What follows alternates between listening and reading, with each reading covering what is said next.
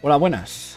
En el vídeo de hoy os voy a hacer una review de Dark Hall y un showcase que cuando salió por primera vez su banner no lo hice. Así que aprovecho y lo hago ahora ya que voy a ver un rerun de su banner.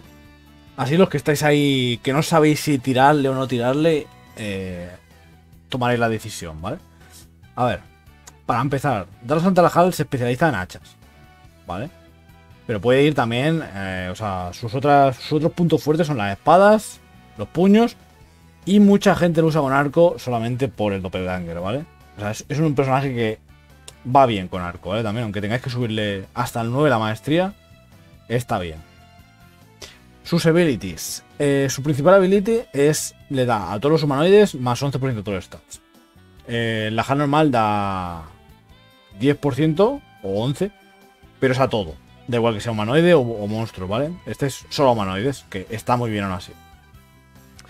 El, con un dupe da lo más importante del personaje, que es Chef Drop Rate 5%. Lo mismo que el pirata, ¿vale? El pirata con un dupe da 5% también, pero obviamente en la HAL de Navidad pega bastante más. Al ser un 4 estrellas base y no un 3 estrellas base. Así que el punto fuerte que tiene la HAL de Navidad, si lo queréis por algo, es por ese 5%, ¿vale? con 5 dupes hace que los aliados con hacha su ataque normal, eh, más 15%. Mm, bueno, sin más. Está bien. Y luego, con 7 dupes, eh, todo el daño de viento, más 15%. Sin más, Realmente, si lo queréis, es por el 5% de, drop, ¿vale? Las skills. Eh, tiene un single target, tiene un AOE caro. Los single target de fuego, AOE caro, que se bufa más 25% de ataque cuando lo tira. Un AOE más caro todavía. Y luego tiene eh, un single target que cuando tiene tres dupes. De habilidades mágicas, si le pone bastón, aprende viento de single target, eh, bufo de velocidad, viento de AOE, bufo de velocidad más, más tocho y otro AOE de viento más tocho.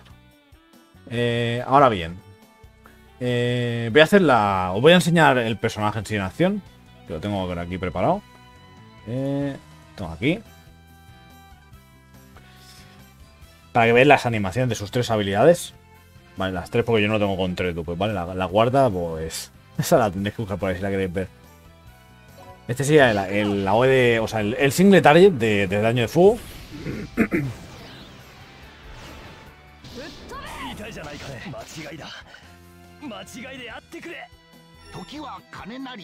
Espero que no, espero no matarlo con este. Ah, sí, sí lo mato, sí. Bueno, que como te obligan a coger un amigo, pues he cogido el menos level que tenía. Tenía level level 30 este señor, pero claro, le ha puesto una arma buena.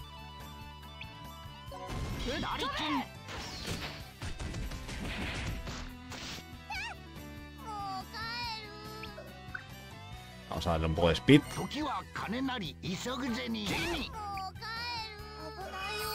Si no me llega para poder tirar todas las habilidades en esta ronda, la tiro en la siguiente. Este sería el, el segundo OE.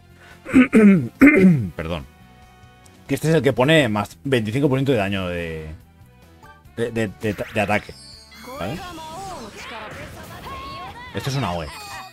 ¿Vale? Se pone ahí el bufo de más ataque. Y ahora a ver si nos llega el SP para el último.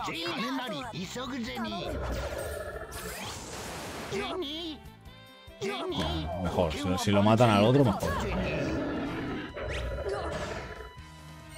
Me ponen forget los malditos ahora. Espero que se me vaya.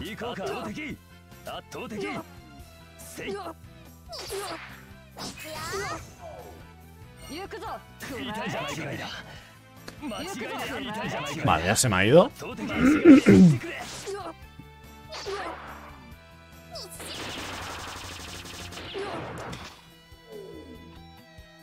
Y este sería el, el otro AOE que tiene, que aprende de normal.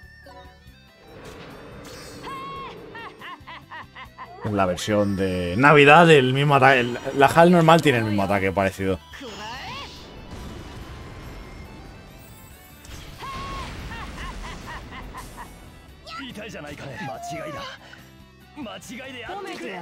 Pero ahí tenéis las tres habilidades que tienen todos los... Los Lahals, ¿vale? De Navidad. Tiene idea de llegar a tres dupes. Entonces, eh, ¿cuál es... eh, en definitiva, cuál es mi opinión sobre el personaje? ¿Debéis o no debéis tirar? Para grupos de farmeo eh, está muy bien. Es el mejor... eh, mejor incorporación que podéis tener en el grupo si lo queréis por conseguir más, eh, más loot de las, por ejemplo, las pantallas de, farmeo de orbes o el item wall, pues ese 5% extra también os puede ayudar a sacar más cofres más rápido. Yo, por ejemplo, fue por lo que tiré por él al principio del juego cuando salió en su banner. Tiré por él para. por el 5%, porque. Eh, puede llevar un pirata en el grupo, pero no va a pegar casi nada al pirata. En la hall de Navidad, pues. Tiene sus ataques que hacen bastante daño. O sea. A mí me ha servido mucho en lo que lo llevo usando, ¿vale? ¿Qué pasa?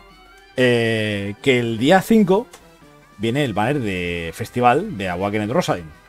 Entonces, eh, no tiréis. O sea, no se os ocurra tirar. Mi opinión es, no se os ocurra tirar. Guardadlo para el festival.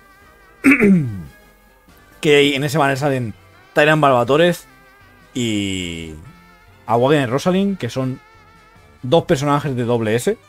El tercer personaje de doble S es New Year Rosalind, pero ese no está en ningún lado. Este fue hace unos, hace unos cuantos banners. Que era limitado. Volverá a salir en verano, lo más seguro.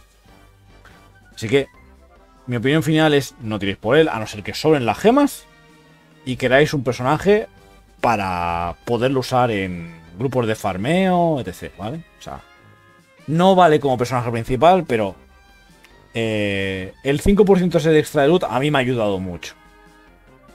Así que esa es mi, ese es mi veredicto final. No tiréis por él, a no ser que queráis el 5%.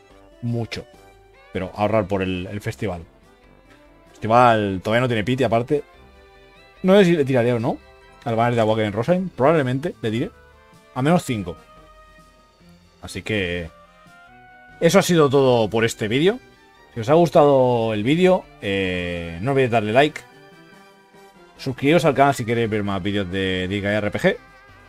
Y abajo en la descripción tenéis todo el resto de mis sociales. Tenéis el Discord, donde jugamos a muchos juegos. Eh, tenéis canales de Liga EA, de Counter-Strike, de Dragalia, de Genshin, de Honkai, de, de más cosas. O tenéis muchos mucho, muchos canales en, el Discord. Eh, pues ahí compartir vuestros códigos de amigo de- del Liga EA para agregar a gente amigos. Eh, tenéis mi Twitch abajo también, que streameo cada, cada tarde, algunas noches también. Y tenéis mi Twitter donde pongo cada vez que subo un vídeo, lo aviso por ahí también. Aparte del disco, también lo aviso. Así que, eso ha sido todo por este vídeo. Nos vemos en el siguiente vídeo.